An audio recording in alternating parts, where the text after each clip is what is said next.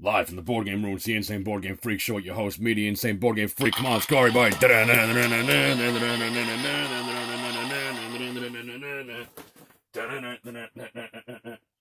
In this episode, Detective Game for Juniors. Travel Clue Junior Game. Quick, to the board game room.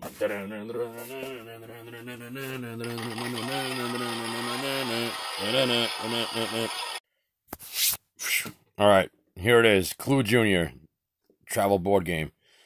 This is a pretty cool, you know, like toy game. It's a travel case. Well, comes in this box, obviously. But in the game, though, you flip the switch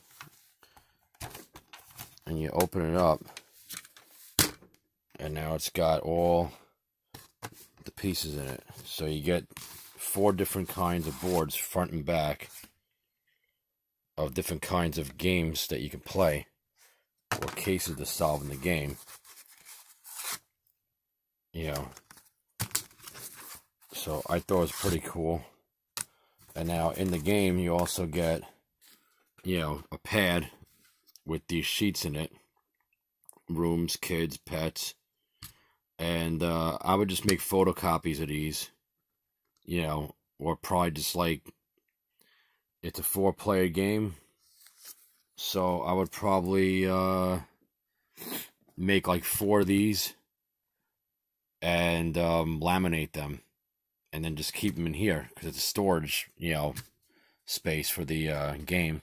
You get these uh, four player markers too. So, and it's cool. So you can be either, you know, a boy or a girl and they have them on front and back. So, you know, this guy here and that girl, and so on and so forth. So now in the game, I'm going to break out a couple of these. You got, uh, these cards here, and you got this close the door again, and then you get the spinner here already on the game. And then this is where you're going to find the clue. It's got like that x-ray vision thing, so I don't know if you could see it, but you could see the room in there or something like that. It looks like the staircase, so that's where it happened. You know, the staircase area in the house, probably the living room or something. Anyway, I'm not going to stare at that all day, but you get the start spaces green, blue, red, and yellow. So it's like playing Clue, but it's cool though because you get to use these these little nubs here to walk around the game. And then you also use them to pull up the doors. And then, ta-da, you know, the dude's hanging out in the laundry room waiting for his wash to be done. with the bunny rabbit. and you got, you know, the girl, you know, in the bathroom about to brush her teeth. Uh, the parrot's chilling out watching TV on the couch. And you got, you know, daddy's in there, I guess, uh, talking to the dog, wondering what he's smelling on the floor while there's a flood to happen in uh, the kitchen because the kitchen's running water in the sink. Great. Uh, and this one, you know, the kid's sitting up on his bed, just chilling out, hanging out with the cat. All right, cool. So, you're going around the board now, and um, the object of the game is to solve the mystery by figuring out which child is hiding in which room with which pet. Okay. so, um, you know, you got the board and this game here, and uh, now, um, each player, you're gonna need a pencil, you know, um, you're gonna pick out a mover and stuff, and uh, you're basically you're gonna spin the spinner and um, move your mover that many spaces in any direction. If there's already a mover in that track space you would land on, then you move to the next available space. If there's a mover in the keyhole, you want to put your mover in so you can look, whatever, you gotta wait until your next turn. Then without spinning the spinner, you move into the keyhole and look at the clues. So, yeah, you're gonna open up these doors here.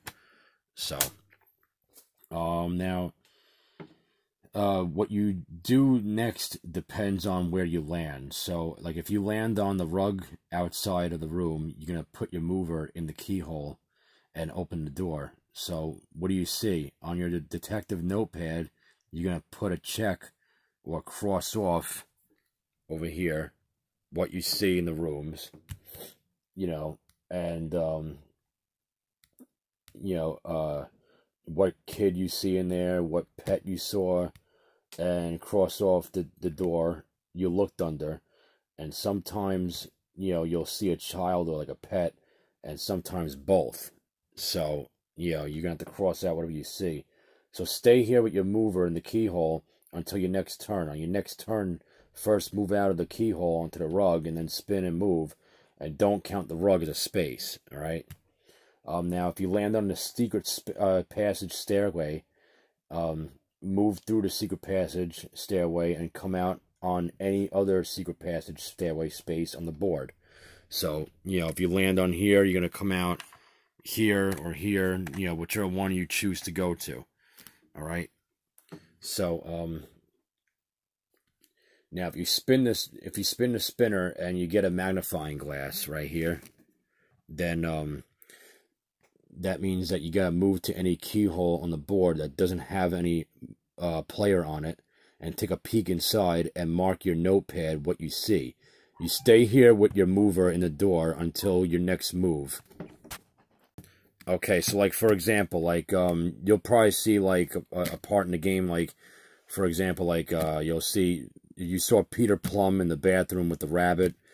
Um, your notepad would look like, you know, this, you know, um, and you should also check off the door you looked under. So you'll check off the door that you looked under, and you'll check the bathroom off.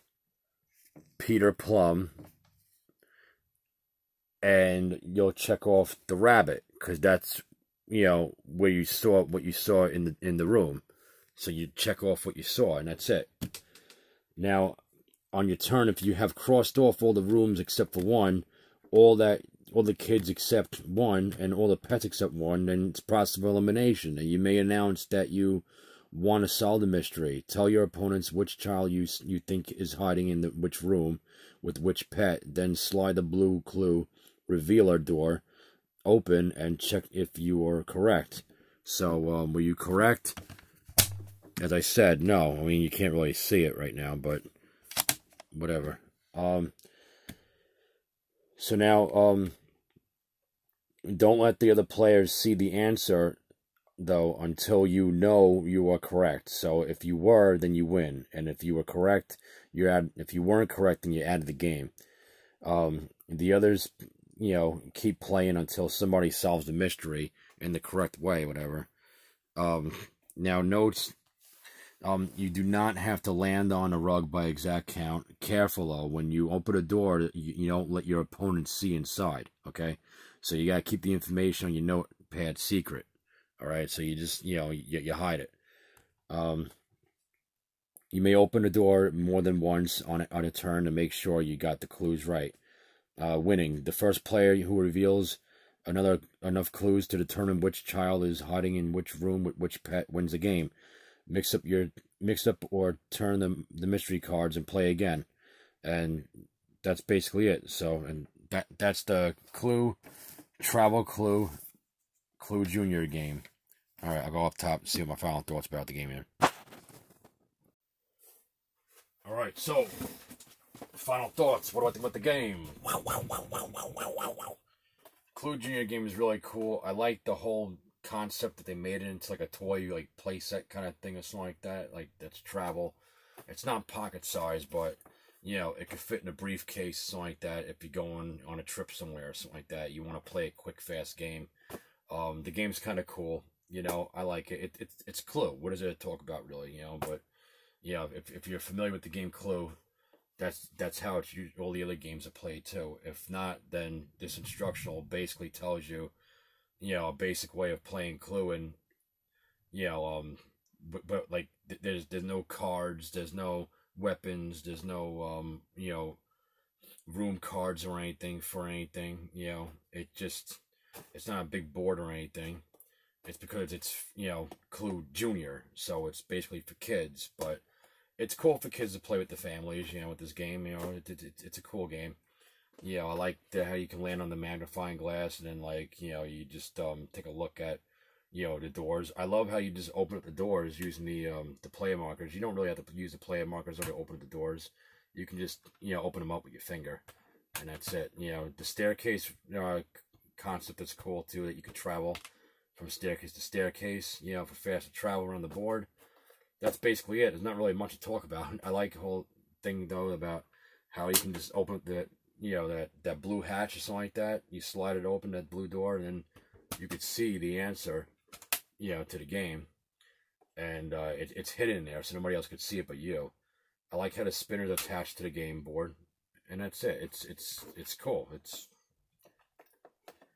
you know, it's fun. You know, I, I, like the pad and everything. I would I would just make you know instead of like erasing you know different things whatever you know different pad uh piece of paper these things. I would just um just laminate them. You know, that's all. Just photocopy three more copies of a clean one, or you know that's it. And then just laminate them and use dry dry erase markers, you know, mini ones, and then try to fit them in the um, you know, in in the case. That's all. But that's pretty much basically it. That's that's Clue Junior Game Travel get Travel Edition. Uh, that's it, everybody. Listen, this game is over. Board game freak out. Roar.